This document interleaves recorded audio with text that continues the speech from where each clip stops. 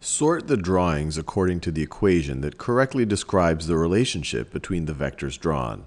An equation may have any number of cards, and cards with no corresponding equation should be left unsorted. So let's see what they're talking about here.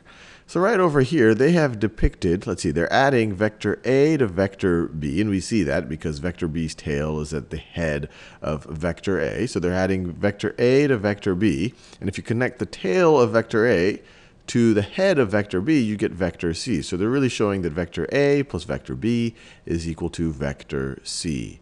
So let's see if we can find that. So a is showing that vectors a plus b, vector a plus vector b is equal to vector c. Now let's look at the second choice. This choice right over here is showing that vector b plus vector c is equal to vector A. So B plus C is equal to A.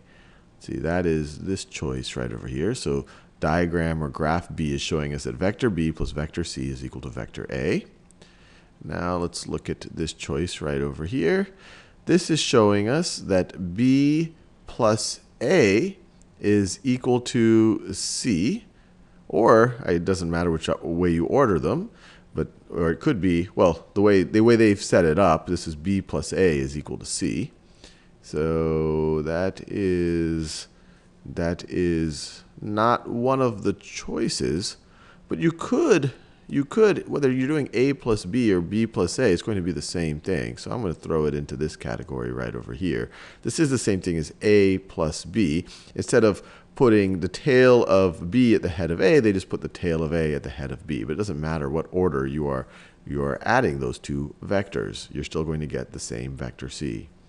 And then finally, this right over here, this is C plus A is equal to B.